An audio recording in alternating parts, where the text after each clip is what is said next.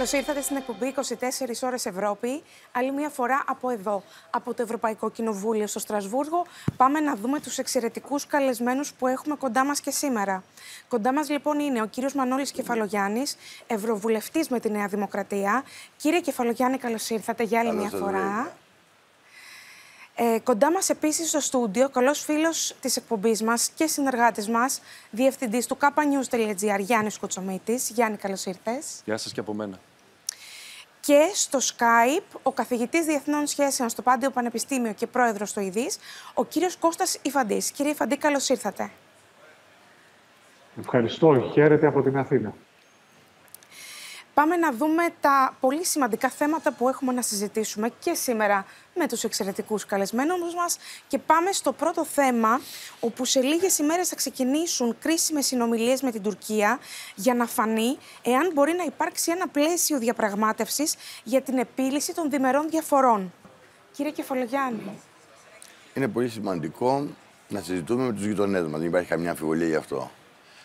Οπότε οποιαδήποτε εποχή προσπαθήσαμε αυτό το διάλογο να τον κάνουμε μέσω τρίτου, οδηγήθηκε σε αδιέξοδο. Άρα είναι πολύ σημαντικό που το κλίμα έχει βελτιωθεί και το κουβεντιάζουμε με τους γειτονές μας. Τώρα, όσον αφορά την ουσία των προβλημάτων, αυτά χρονίζουν εδώ και δεκαετίες. Η πολιτική της Ελλάδος είναι σταθερή προς μια συγκεκριμένη κατεύθυνση, διαχρονικά και με όλες τις κυβερνήσεις, ανεξαρτήτως πολιτικών αντιπαραθέσεων για άλλα θέματα εσωτερικά η εξωτερική πολιτική είχε μια συγκεκριμένη κατεύθυνση. Έχουμε οριοθετήσει ποιες είναι οι διαφορές μας με την Τουρκία και σε αυτές επιμένουμε. Επέμεναν όλες οι κυβερνήσεις μέχρι σήμερα, επιμένει και η συγκεκριμένη κυβέρνηση του Κυριάκου Μητσοτάκη. Είναι πάνω στο πολύ καλό που το κλίμα έχει βελτιωθεί. σω και η Τουρκία έχει περισσότερο ανάγκη αυτό το καλό κλίμα και όσο αφορά τις διαπραγματεύσεις με την Ευρωπαϊκή Ένωση. Και βεβαίως για άλλα θέματα που έχουν να κάνουν με το ΝΑΤΟ, τις Ηνωμένες Πολιτείες, τα εξοπλιστικά προγράμματά της. Η Τουρκία έχει υποστεί μια αρκετά σημαντική ήττα στο διπλωματικό τομέα τα τελευταία χρόνια. Και αυτό φάνηκε και με τον τρόπο με τον οποίο τον αντιμετώπισε και η Ευρωπαϊκή Ένωση και οι Ηνωμένες Πολιτείες για τα θέματα της ασφάλειάς της και τα εξοπλιστικά της προγράμματα. Άρα είναι καλό, είναι μια καλή βάση να πάμε το διάλογο αυτό όσο μπορούμε καλύτερα, χωρίς να ε, κάνουμε καμία έκπτωση στις ζωτικά μας θέματα, τα οποία έτσι κι αλλιώς είναι κατοχυρωμένα και στη συνείδηση του ελληνικού λαού και στην εξωτερική μας πολιτική. Ωραία. Γιάννη, ο λόγος σε σένα. Ναι, ε, πραγματικά πιστεύω ότι είναι μια ευκαιρία να δούμε εάν πραγματικά μπορούμε να μιλήσουμε ε, σε μια ρεαλιστική βάση με την Τουρκία για αυτά τα ζητήματα που μας απασχολούν στο Αιγαίο εδώ και πάνω από 50 χρόνια. Και για μας είναι δύο και συγκεκριμένα. Είναι η οριοθέτηση των θαλασσίων ζωνών, η φαλοκρηπίδα και ΑΟΣ. Αυτά είναι τα ζητήματα που μας ενδιαφέρουν να, να υπάρξει μια συζήτηση με την Τουρκία, η οποία να, να πω ότι έχει συμβεί και στο παρελθόν.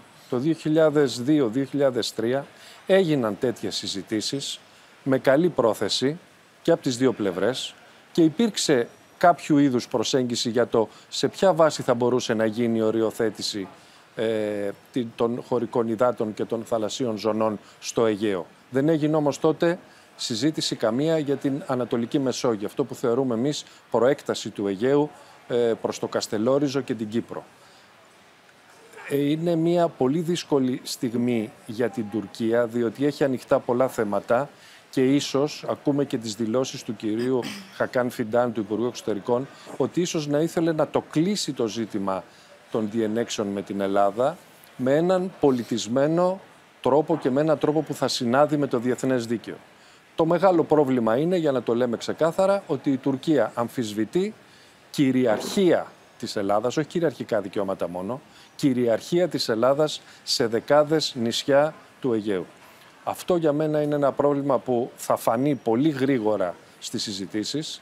Εάν η Τουρκία εγκαταλείψει την πολιτική την οποία έχει από το 1993 της αμφισβήτησης της ελληνικότητας νησιών του Αιγαίου, αν το εγκαταλείψει, αν εγκαταλείψει δηλαδή την περίφημη πολιτική των γκρίζων ζωνών, τότε ίσως να είναι μια πολύ μεγάλη ευκαιρία να κάτσουμε με την Τουρκία είτε με, σε διεθνή διαιτησία είτε απευθείας και να λύσουμε το ζήτημα του καθορισμού της Αιγιαλίτιδα ζώνης των χωρικών υδάτων και της ΑΟΣ.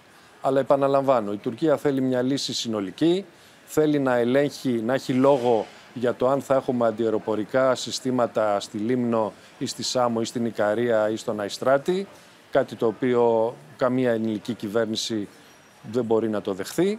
Ε, φυσικά στα πλαίσια του ΝΑΤΟ, επειδή είμαστε δύο σύμμαχες χώρες, φυσικά και μπορούμε να συζητήσουμε την ε, διευθέτηση συγκεκριμένων συστημάτων στρατιωτικών. Αλλά αυτό δεν σημαίνει ότι θα αποστρατιωτικοποιήσει η Ελλάδα ποτέ τα νησιά σε επίπεδο να μην μπορούμε να έχουμε αμυντική ικανότητα να την περασπιστούμε εάν παρελπίδα χρειαστεί και υπάρξει ανάγκη. Δεν υπάρχουν πολλά στα οποία θα μπορούσα να διαφωνήσω από αυτά που ήδη έχουν, έχουν ε, πέσει στο τραπέζι.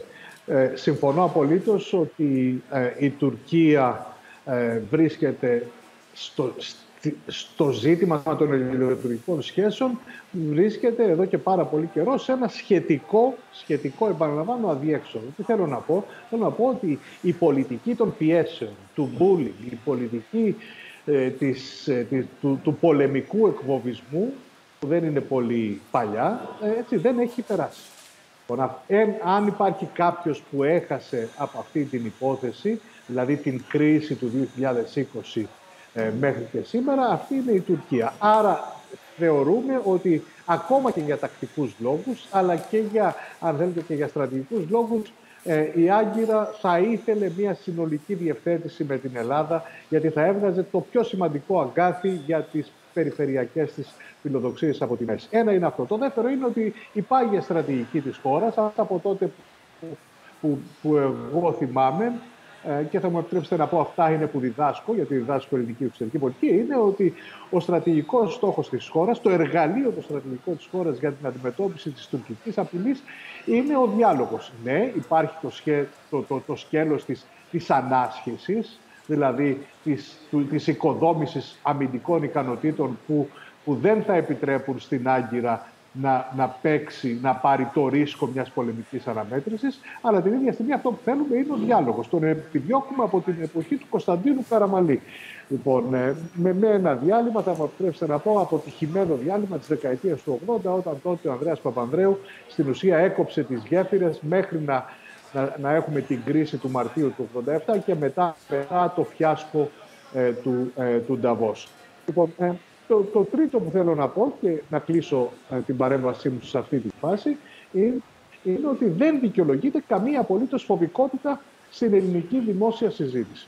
Ε, δηλαδή το γεγονός ότι θα συζητήσουμε με την Τουρκία ούτε νομιμοποιεί. Αυτό είναι το ότι πιο ανιστόρητο επικρατεί στην Ελλάδα. Ότι αν συζητήσουμε με την Τουρκία και η Τουρκία βάλει στο τραπέζι την αμφισβήτηση νησιών, εμείς νομιμοποιούμε αυτή την αμφισβήτηση. Προφανώς και δεν υπάρχει. Χώρες ακόμα και σε εμπόλεμη κατάσταση έτσι, διαπραγματεύονται. Δεν σημαίνει αυτό ότι η μία νομιμοποιεί τις θέσεις της άλλης επειδή κάθονται στο τραπέζι των ε, διαπραγματεύσεων. Άρα, και κλείνω με αυτό, χρειάζεται και μια ε, έντιμη, ειλικρινής, εσωτερική συζήτηση για το πού είμαστε, πού θέλουμε να πάμε και πώς θα πάμε εκεί που θέλουμε να πάμε. Ωραία. Θέλετε να κάνετε κάποιο σχόλιο, κύριε Κεφαλογιάννη; Νομίζω ότι είμαστε σε μια καλή περίοδο να συζητούμε με την Τουρκία. Έχουμε δύο κυβερνήσεις οι οποίες έχουν ε, νοπή λαϊκή εντολή. Είναι δύο ισχυρές κυβερνήσεις. Υπάρχει ένα παραγές εθνικό μέτωπο. Γνωρίζουμε τα θέματα πολύ καλά. Γνωρίζουμε τον αντίπαλό μας και τις τακτικές του όλα αυτά τα χρόνια. Έχουμε εμπειρία από κρίσεις με την Τουρκία.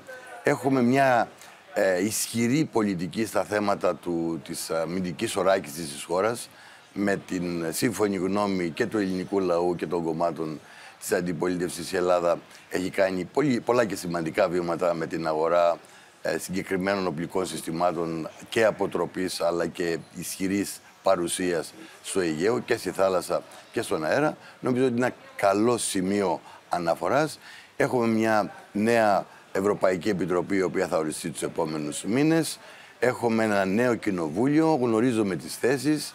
Εγώ, που ξέρετε, έχω την τιμή να προεδρεύω της Επιτροπής Ευρωπαϊκής Ένωσης Τουρκίας. Θα κάνουμε τις πρώτες συναντήσεις. Σήμερα το κλίμα είναι πολύ καλύτερο και για την Τουρκία και την ενταξιακή ή όποια ενταξιακή της πορεία στην Ευρωπαϊκή Ένωση, αλλά και για την επίλυση, αν είναι δυνατόν, των κρεμών θεμάτων εδώ και 50 χρόνια με την Τουρκία. Μακάρι, μακάρι να βρεθούμε στην ιστορική συγκυρία τέτοια που να βρεθεί μια λύση. Περιμένουμε βέβαια και τι Αμερικανικές εκλογές. Ξέρετε ότι και αυτέ θα διαδραματίσουν το δικό τους συγκεκριμένο ρόλο. Α βλέπουμε τη φωτεινή μεριά του φεγγαριού και κρατάμε ε, και μικρό καλάθι, γιατί ξέρουμε ότι η Τουρκία το φτάνει μέχρι ένα σημείο και μετά ε, αλλάζει, αλλάζει τακτική. Να δούμε ποιες είναι οι προσθέσεις της σε αυτή τη χρονική ιστορική περίοδο. Ναι, Γιάννη, ένα σχόλιο και από ναι, σένα. Ε, να, να, πάρω πολύ ωραία την τη, τη μπάλα από εκεί την άφησε ο κύριος Κεφαλογιάννης. Να πω ναι, η Τουρκία είναι σε μια πολιτικά καλή στιγμή για να ξεκινήσει να συζητήσει τέτοια ευαίσθητα θέματα, γιατί υπάρχει ένας χρονικός ορίζοντας στην κυβέρνηση Ερντογάν μπροστά. Δεν είμαστε σε προεκλογική περίοδο στην Τουρκία, άρα είναι καλό το timing. Το άλλο που ήθελα να πω είναι ότι πρέπει να ε, ξεκαθαρίσουμε στη δημόσια σφαίρα και στη δημόσια συζήτηση ας πούμε το, το ζήτημα των 12 ναυτικών μιλίων που έχει απόλυτα δικαίωμα η Ελλάδα να επεκτείνει τα χωρικά της ύδατα. Όμως το ίδιο δικαίωμα το έχει και η Τουρκία, που αυτή τη στιγμή έχει και εκείνη 6 ναυτικά μίλια χωρικά ύδατα. Και εκείνη δεν κάνει άσκηση του κυριαρχικού της δικαιώματος να επεκτείνει τα χωρικά της ύδατα στα 12 μίλια. Και σε κάποια σημεία στο Αιγαίο είναι στενά. Λοιπόν, εκεί μπορεί να έρθει και να υπάρξει μέση γραμμή λεγόμενη και να είναι τρία μίλια από τη μία, τρία από την άλλη. Ή σε κάποιο σημείο να πάρουμε εμείς μεγαλύτερα, περισσότερα ε, κομμάτι χωρικών υδάτων και σε άλλο να πάρουμε λιγότερο. Αυτό σημαίνει μια διαπραγμάτευση με καλή πίστη. Το άλλο ζήτημα είναι αυτό που φέρει η Τουρκία εδώ και χρόνια και το λέει και εκεί είναι ένα ζήτημα που μπορούμε να δείξουμε μια κατανόηση, είναι να υπάρχει, να μην ε, εμποδίζεται η ελεύθερη ναυσιπλοεία σε σημεία που ε, τα νησιά τα δικά μας ε, με τα χωρικά τους ύδατα ε, θα δημιουργούν ουσιαστικά κλειστή ζώνη και να μην υπάρχει αυτό που φοβάται η Τουρκία, λέει ότι φοβάται να μην γίνει κλειστή λίμνη ελληνική το Αιγαίο. Πιστεύω ότι με καλή πρόθεση, αν επιδείξει η Τουρκία, μπορούν να βρεθούν λύσεις. Τεχνικές λύσεις υπάρχουν και υπάρχει και νομολογία των διεθνών δικαστηρίων ε, και της Χάγης και του Αμβούργου που μπορεί να βρεθεί λύση.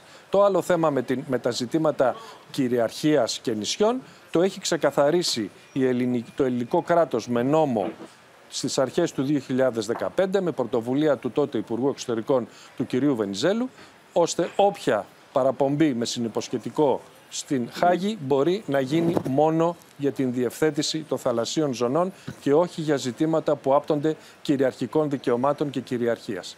Λοιπόν, αυτά είναι ξεκαθαρισμένα, είναι νόμος του ελληνικού κράτους και καμία κυβέρνηση με οποιασδήποτε συνθήκες θα εμπιστευόμουν εγώ ότι μπορεί να αλλάξει αυτή την τακτική και να πάει σε άλλου είδους διαπραγμάτευση.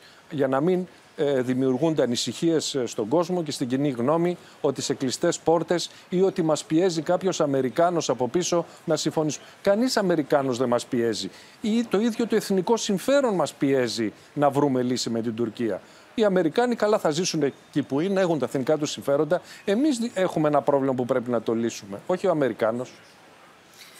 Ωραία, να αλλάξουμε θέμα. Μήπως και... ο κύριος Ιφαντής θα ήθελε Κύριε να... Ιφαντή, θέλετε να κάνετε ένα σχόλιο πριν πάμε στο επόμενο θέμα; Όχι, κοιτάξτε, η συζήτηση είναι πάρα πολύ μεγάλη και χαίρομαι που ανοίγει, όπως είπαμε, γιατί για μένα το πιο σημαντικό ε, για να διαπραγματευτεί μια κυβέρνηση, όποια κυβέρνηση, είναι να υπάρχει ένα καλό, ε, ε, αν θέλετε, ποσοστό συνένεσης. Δεν μπορεί να συμφωνούν όλοι και ούτε, και ούτε χρειάζεται να, να, να συμφωνούν όλοι στο, στο τι θέλουμε από αυτή την υπόθεση. Αλλά, αλλά πρέπει να συζητήσουμε. Πρέπει να συζητήσουμε πια ανοιχτά και χωρίς όταν εκφράζονται απόψεις, ακόμα και απόψεις που δεν μας αρέσουν, να μην τις δαιμονοποιούμε. Γιατί ε, τότε το αποτέλεσμα θα είναι θα είναι ένας εσωτερικός διχασμός, ο οποίος μόνο δεινά θα επισορεύσει ε, στη χώρα. Ωραία, να πάμε στο επόμενο θέμα, το οποίο είναι το μεταναστευτικό.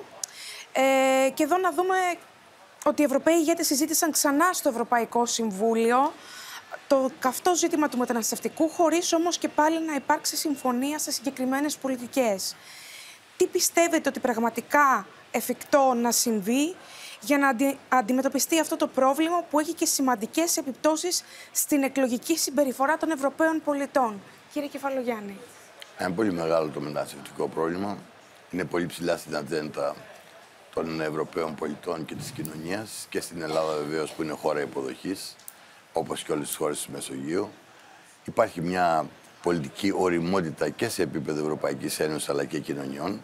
Έχουμε ξεφύγει από αυτό που υπήρχε στο παρελθόν και στη χώρα μας ότι ε, πρόσφυγες και οικονομική μετανάστευση είναι το ίδιο πράγμα, ότι όλοι πρέπει να μπαίνουν μέσα στην Ευρωπαϊκή Ένωση και στην Ελλάδα, ότι λιάζονται και φεύγουν. Όλα αυτά είναι του παρελθόντος. Δεν δαιμονοποιείται η πολιτική για αυτό που με πολύ αποφασιστικό τρόπο έχει ξεκινήσει με την κυβέρνηση της ε, Νέας Δημοκρατίας και του Κυριάκου Μητσοτάκη για το φράχτη στον Εύρο, ο οποίος προχωράει και θα ολοκληρωθεί ε, όπως έγινε στην αρχή. Θυμάστε τις συζητήσεις που γινόταν όταν πρώτο συζητήθηκε αυτό το θέμα και στη χώρα μας.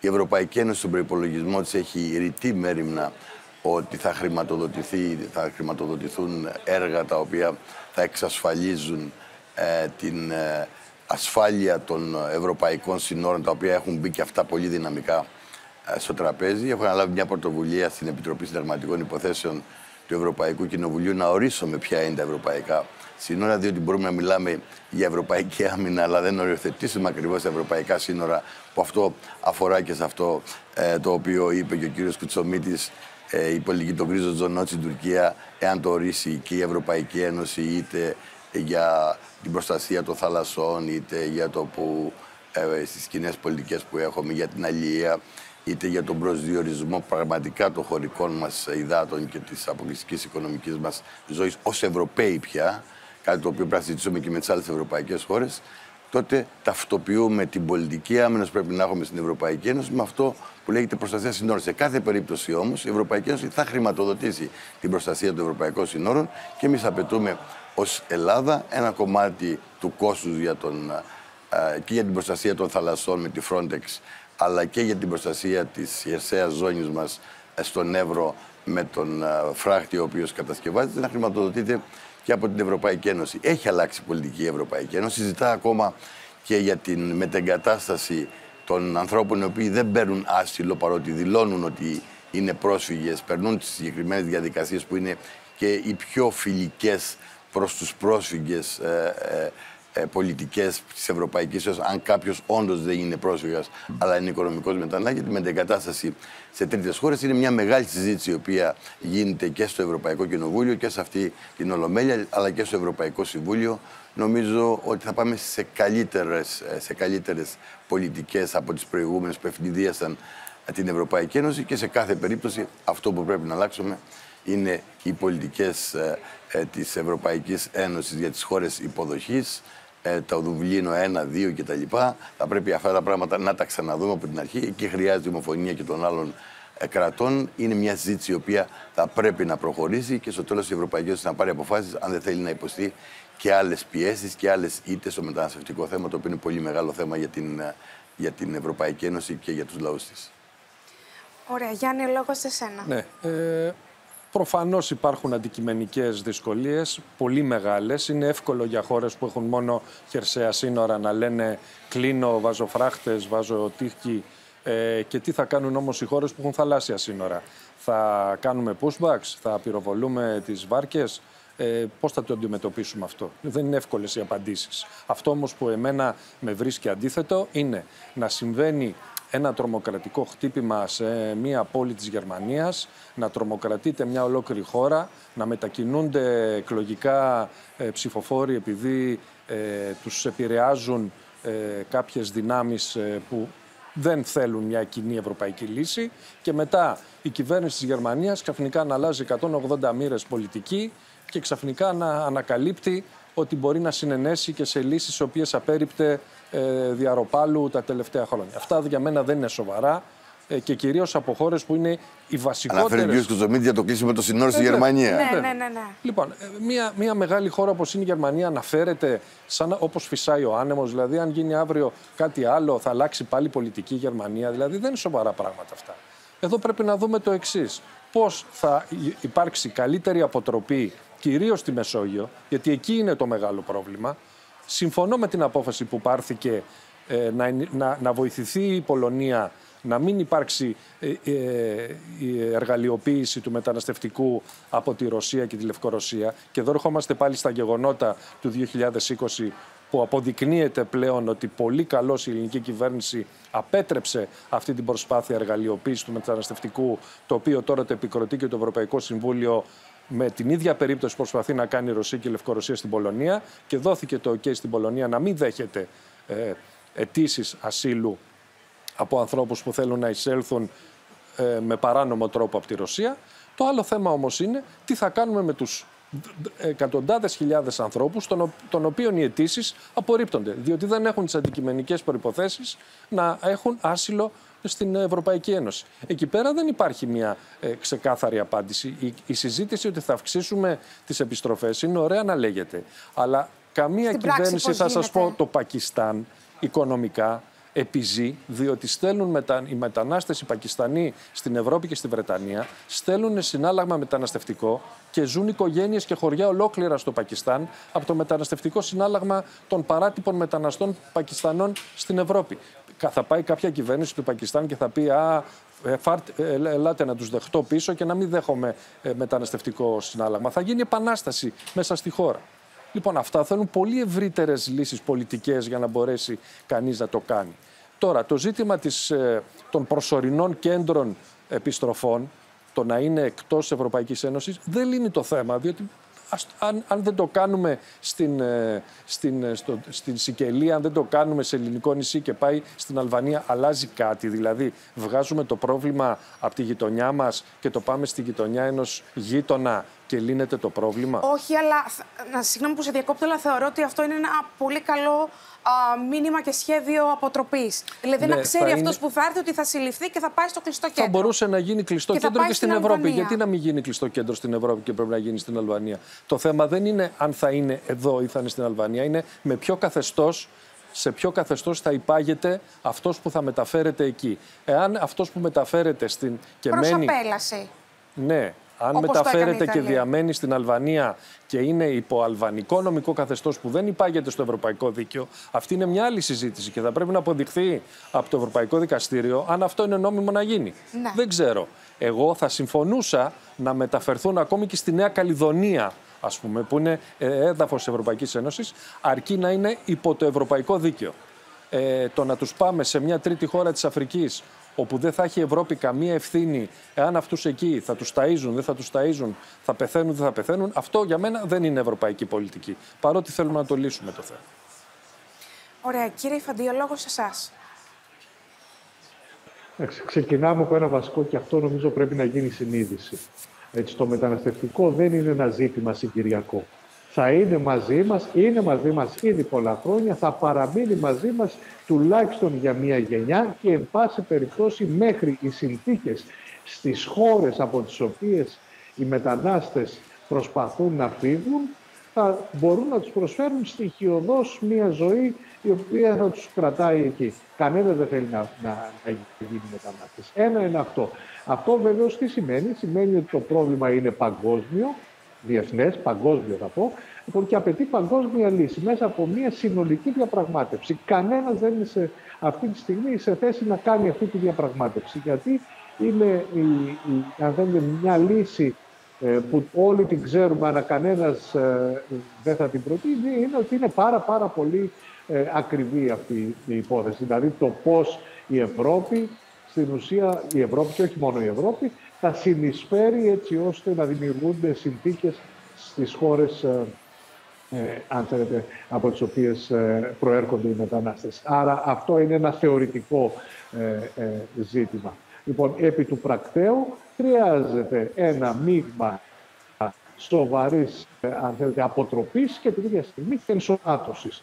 Λοιπόν, δεν, δεν υπάρχουν, όπως είπε και ο κ. Κουτσομίτη, δεν υπάρχουν λύσεις. Αν περιμένουμε ότι κάποιος έχει ένα μαγικό κουμπί και θα πατήσει και θα έτσι, οι ευρωπαϊκές κοινωνίες είναι ανοιχτές κοινωνίες. Αυτή, αυτό είναι το μυστικό της προόδου, της ευημερίας και της ισχύω μας. Λοιπόν, είναι ένα τίμημα το οποίο το πληρώνουμε. Πρέπει να το αντιμετωπίσουμε, δεν υπάρχει καμία αμφιβολία. Η παράτυπη ή η παράνομη μετανάστευση ε, πρέπει να, να ελαχιστοποιηθεί, αλλά να έχουμε υπόψη μας ότι δεν πρόκειται να σταματήσει. Και το τελευταίο που θέλω να πω, συμφωνώ απολύτως με τον κύριο Κουτσομίτη για το ζήτημα της Γερμανίας. Ο κύριος Κεφαλογιάννης, ως Ευρωβουλευτής, πρέπει να είναι περισσότερο διακριτικός. Λοιπόν, αλλά η Γερμανία αποδεικνύει σε κάθε ευκαιρία ότι είναι αυτό που κάπου που είπε ο αείμνηστος ο έμιστος Θεόδωρος Πάγκαλος, ένας στρατηγικός νάνος. Έτσι, δεν έχει στρατηγική για τίποτα. Το μόνο που έχει είναι ιδεολογικά πλαίσια, τα οποία όμως δεν αφορούν την πραγματικότητα. Ένα σχόλιο θέλει ναι, να κάνει ναι. ο Γιάννης. Ε, να, να προσθέσω σε αυτό που λέγαμε πριν για τη Γερμανία. Σας πω το εξής παράδειγμα. Λίγες μέρες πριν την απόφαση για αλλαγή πολιτικής γερμανικής κυβέρνησης, η γερμανική κυβέρνηση έκλεισε συμφωνία με την κυβέρνηση της Κένιας για τη μετάκληση έως και 200.000 μεταναστών, νόμιμων μεταναστών, γιατί χρειάζεται εργατικά χέρια στα γερμανικά εργοστάσια. Αντίστοιχα η Ελλάδα χρειάζεται χέρια στην, στις αγροτικές καλλιέργειες. Το είπε ο Πρωθυπουργός ότι χρειαζόμαστε ανθρώπους για τις ελιές. Ναι.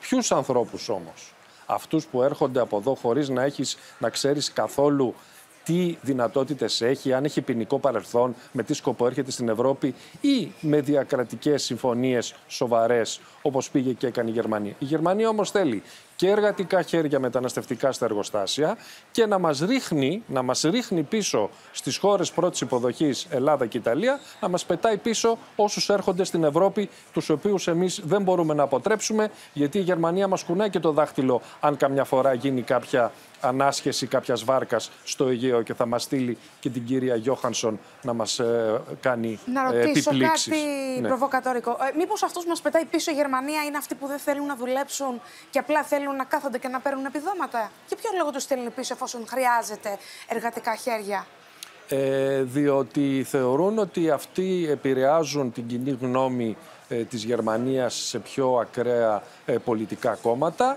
και δεν είναι εύκολα ενταγμένοι μέσα στο κοινωνικό ιστό, μέσα στο ευρωπαϊκό ε, οικοδόμημα, το νομικό οικοδόμημα και έτσι είναι μια εύκολη λύση. Πήγαινε τους πίσω στην Ιταλία Άρα και στην δεν Ελλάδα. Καταλήγουμε στο ότι αυτοί δεν θέλουν να δουλέψουν. Ε, Αυτοί που, που, που... Κοιτάξτε, όποιος στη Γερμανία, μετανάστης, είτε παράτυπος είτε νόμιμος, θέλει να δουλέψει, μπαίνει στα προγράμματα. Υπάρχουν δεκάδες προγράμματα και σε τοπικό δημοτικό επίπεδο και σε επίπεδο κρατηδίων και σε ομοσπονδιακό και όλοι βρίσκουν δουλειά. Όποιος δεν θέλει να δουλέψει, μπαίνει στην ε, μαύρη οικονομία ή θα τον πιάσει η γερμανική αστυνομία, θα πάει στα δικαστήρια. Το δικαστήριο μπορεί να βγάλει διαταγή να απελαθεί. Αυτός δεν απελάβνεται γιατί κάνει ενστάσεις. Θα κάνει και ένα ποινικό αδίκημα ή μια τρομοκρατική ενέργεια και μετά θα φταίει η Ελλάδα που τον άφησε και πέρασε με δευτερογενείς ροές από την Ελλάδα στη Γερμανία. Αν αυτό σας ακούγεται λογικό, εμένα μου ακούγεται εντελώς παράλογο. Α, τώρα πρέπει να πούμε ότι αυτό Ναι. που λέγει ο Ξωμένης έχει ιδίως το εξής ότι ε, μια δομημένη πολιτική των χωρών της Ευρωπαϊκής Ένωσης και της ίδιας της Ευρωπαϊκής Ένωσης είναι αυτή που καλύπτει ανάγκες της ανάπτυξης της Ευρώπης, όπως παραδείγματος χάρη σε εμάς που χρειαζόμαστε 150.000 ανθρώπους για αγροτικές εργασίες ή χρειαζόμαστε αρκετές δεκάδες χιλιάδες την τουριστική περίοδο, αλλά αυτοί έρχονται δομημένα. Δηλαδή, έρχονται για έξι μήνες, έχουν τα, τις ασφαλιστικές τους φορές, έχουν τις θέσεις εργασίας τους, έχουν την ευθύνη αυτοί οι οποίοι τους παραλαμβάνουν, το ίδιο πράγμα και στι άλλες χώρες, και μετά φεύγουν και ξανάρχονται.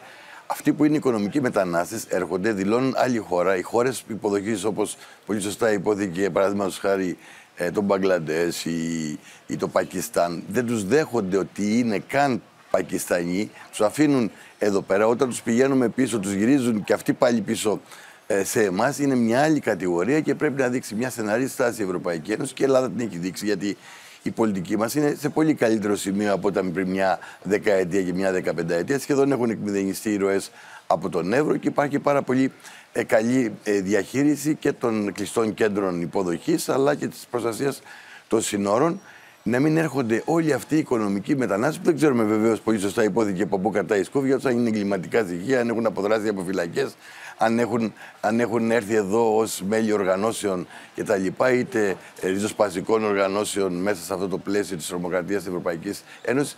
Η δομημένη μετανάστευση είναι μια μετανάστευση η οποία δεν είναι μετανάστευση, είναι εργασία μέσα στην Ευρωπαϊκή Ένωση δομημένη, είναι ε, επιθυμητή αν την θέλουν οι χώρες για να καλύψουν ε, ανάγκες ε, της, ε, της κάθε χώρας. Από την άλλη μεριά πρέπει να υπάρχει μια στεναρή πολιτική στο θέμα το μεταναστευτικό μες στα πλαίσια τα οποία είπαμε προηγουμένως. Κύριε Κεφαλογιάννη, όμως να σας πω κάτι. Η εύκολη δικαιολογία, ε, Α, τι να κάνουμε, μας τους γυρίζουν πίσω, κάποια στιγμή πρέπει να τελειώσει. Γιατί αυτό το πράγμα κα- γίνεται χρόνια και πρέπει να σταματήσει, θεωρώ. Είναι μια εύκολη δικαιολογία στην ε, ε, οποία έχουμε βασιστεί τα τελευταία χρόνια. Α, μα του γυρίζουν πίσω και τι να κάνουμε; Όχι, είναι ένα λάθος πολιτικής η οποία έγινε στα μέσα της δεκαετίας του 90. Δεν έπρεπε να αποδεχτούμε από τότε το Δουβλίνο. Έπρεπε να έχουμε εμείς βάλει το βέτο να μην προχωρήσει αυτή η διαδικασία και να έχουμε κάνει μια συμφωνία για το πώς θα γίνεται και η υποδοχή και η διαχείριση των παράνομων οικονομικών μεταναστών μέσα στην Ευρωπαϊκή Ένωση. Τώρα έχουν γίνει κάποια βήματα μετά από πολλές πιέσεις. Δεν έχουμε φτάσει στο επιθυμητό σημείο. Αυτές οι πολιτικές και οι πολιτικές πιέσεις από χώρες του Νότου πρέπει να ενταθούν, να βρεθούμε να βρούμε μια ισορροπία. Κύριε Κεφαλογιάννη, να σας ευχαριστήσω πολύ που συμμετείχατε στην εκπομπή μας. Η χαρά είναι δική μου. Γιάννη, να σε ευχαριστήσω πολύ που συμμετείχες στην εκπομπή μας για άλλη μια φορά. Ευχαριστώ και εγώ πολύ, χαρά μου. Κύριε Ιφαντή, να σας ευχαριστήσω πολύ που συμμετείχατε στην εκπομπή μας. Να είστε καλά, πάντα στη διάθεσή σας. Αγαπητοί τηλεθεατές, σας ευχαριστούμε πολύ που μας παρακολουθήσατε. Την επόμενη εβδομάδα, όπως πάντα και πάλι μαζί σας, από το Ευρωπαϊκό Κοινοβούλιο.